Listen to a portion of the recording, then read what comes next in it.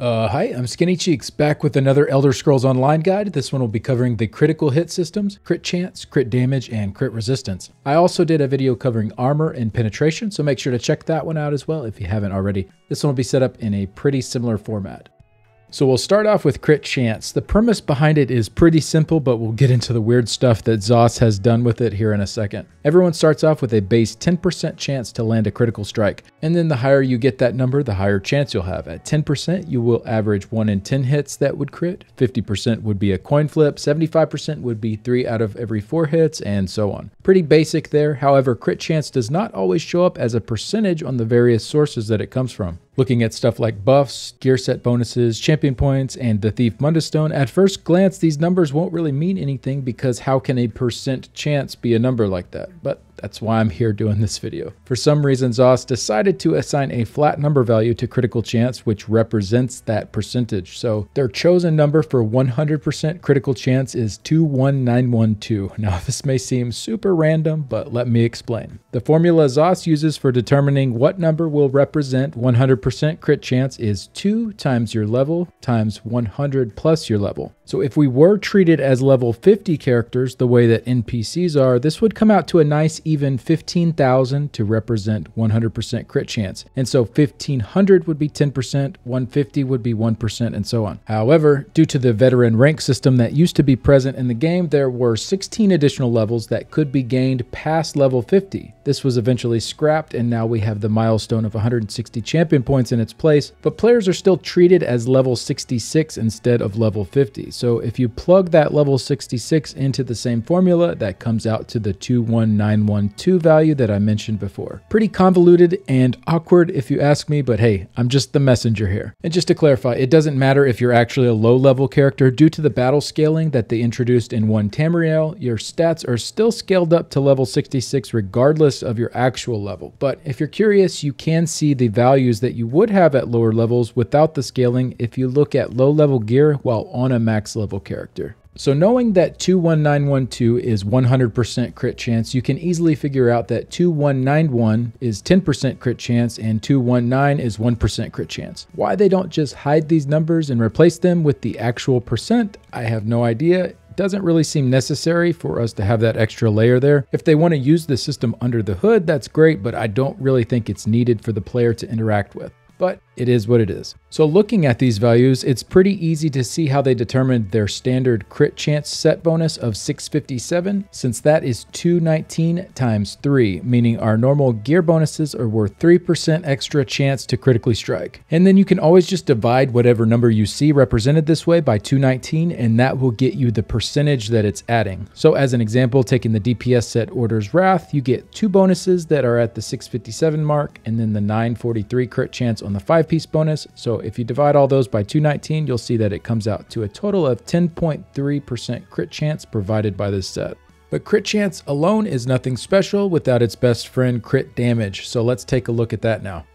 If you didn't have any crit damage, then it wouldn't matter if you successfully landed a critical strike, as there would be no additional damage added. However, everyone starts out with a base crit damage modifier of plus 50%. So this means without any additional buffs or bonuses to the stat, if you have a hit that would deal 10k damage, if it crits, it will hit for 15k damage. Another way to look at this is it is a 1.5 times modifier. So there are lots of ways to increase this, which I'll cover in just a bit, but the maximum that it can be increased to while still gaining a benefit is up to an additional 125% crit damage or 2.25 times multiplier. That's where they've capped it out. So while you could build higher than that, anything beyond this amount will be wasted as you won't see any further results. So with that 10k hit at the crit damage cap, we'd hit for 22.5k damage whenever we land a critical strike, up quite a bit from that base of 50% extra damage. I do want to point out that this is noted in the in-game settings under the advanced stats tab. Both the base crit damage that everyone starts with and the crit damage cap are written here. However, under your damage bonuses where it shows your crit damage, this 50% is not included for some reason. So just keep in mind that whatever number you end up seeing there, you'll have to add another 50% on top of it. I think it's a little confusing to have that start at zero when everyone starts at 50, but maybe they'll update that at some point. For now, just something to note. And as I mentioned earlier, there are a number of ways to build to get to that crit damage cap. For organized group content, you'll commonly see Major Force from Warhorns,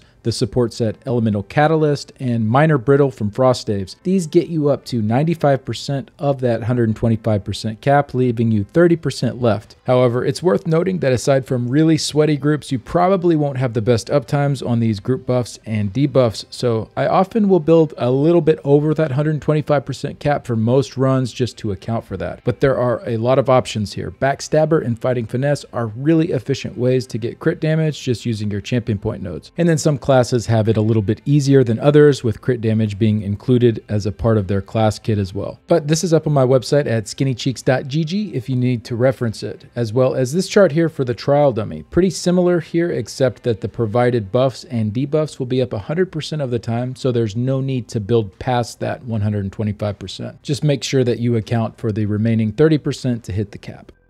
Moving on to the third part of the crit trio, we have crit resistance. This is only relevant for PvP as enemies in PvE cannot critically strike, so there's no need to add any crit resistance to your build for PvE content. Everyone starts with 1320 crit resistance as a base, and again, this is going to be based around characters treated as level 66, so every 66 crit resistance will equal 1%. So if we divide 1320 by 66, we get 20% crit resistance to start out with. This just means if someone hits us and critically strikes, let's say their crit damage is at plus 80%, then if we just had that 20% base, that would knock it down to 60% instead. Pretty straightforward system, really. And then there are other ways to build into this as well, such as the 10% node in the champion points, certain gear set bonuses and buffs, and the gear trait impenetrable. And all of these you can just divide by 66 if you want to know exactly how much crit damage resistance that adds for you. As I said, the system is pretty straightforward, but there are a couple of things I see a little bit of confusion around sometimes. First off, you cannot lower someone's hit beneath the base value. So if I have 70% crit resistance and they only have 60% crit damage, then I just knock that 60% off and they hit me as though it wasn't a crit. It doesn't dip into the negative though. And then for building past the cap, someone could, in theory, build up to say 165% crit damage. And let's say I had 40% crit resistance. Well, they would still be at that cap of 125%. So essentially, my crit resistance in that scenario is not doing anything as they are going to hit me for the capped amount of crit damage there regardless. It's similar to how building armor above the armor cap works with penetration. So with that crit damage cap, it is the ending value after the resistances are applied, not the starting value that matters for the cap.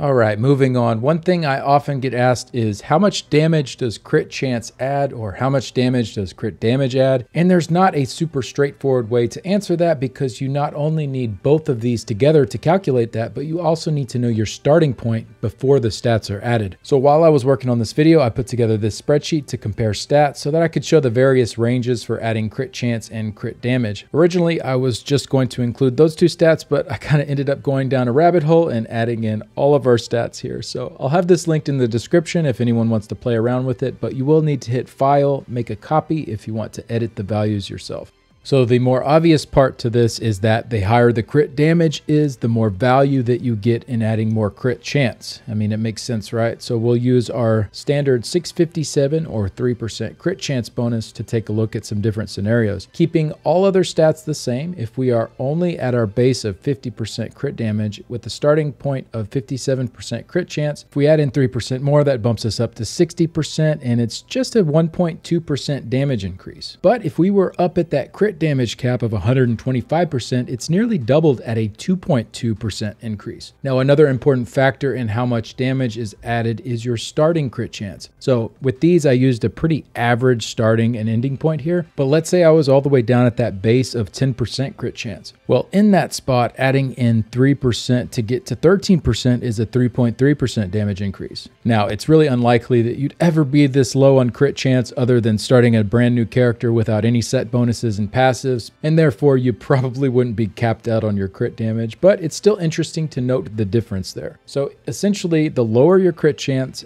and the higher your crit damage, the more impact adding in crit chance will have. And then on the opposite end, as the worst case scenario, again, pretty unlikely to have these stats, but if we had that base to work with of 50% crit damage, and then adding in the 3% took us from 97% to 100% crit chance, that would be the lowest possible damage increase we could see from adding a crit chance bonus line at only 1%. So the bottom line is that it can, in theory, range from a 1% boost up to a 3.3% boost to add in 3% crit chance. But in more realistic situations, it's usually going to be around that 1.5 to 2.5% damage increase. It is also worth noting that the Slimecraw monster set does have a higher value here than any other One Piece bonus, so this one is actually 3.5% instead of 3%. So you can squeeze out just a tiny bit more if you use that compared to a One Piece with a regular line of crit chance.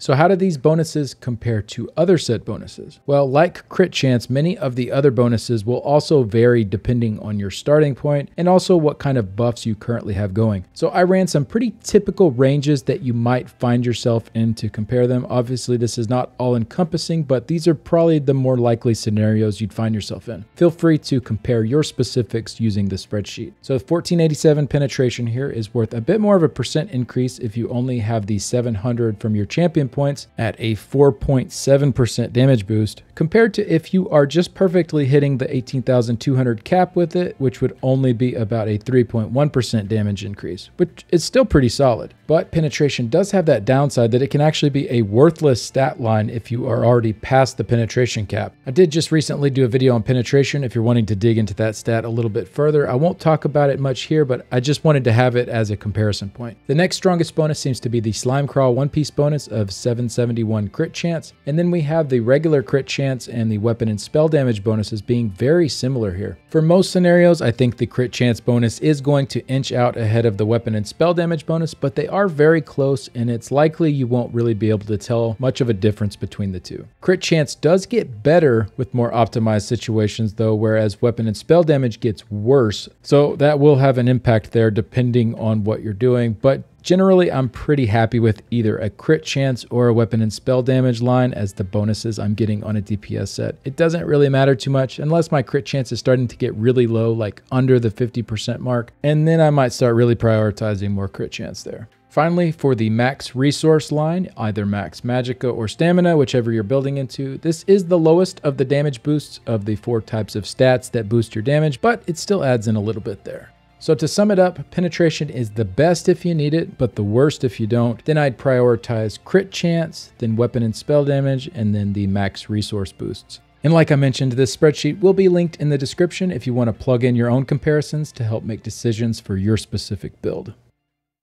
Well, I hope this helped to make some more sense of crit chance, crit damage, and crit resistance in the Elder Scrolls Online. If you have any questions, feel free to ask in the comments below, or you can join our Discord server that's linked in the description. Big thanks to all my Patreon supporters and YouTube members. The monthly contributions help out a ton to keep the website and YouTube channel going.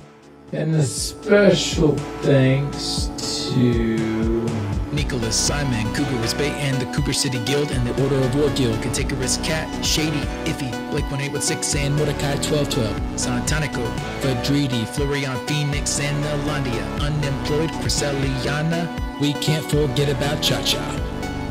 Thank you so much for watching. I'll see you all in the next one. Uh, bye.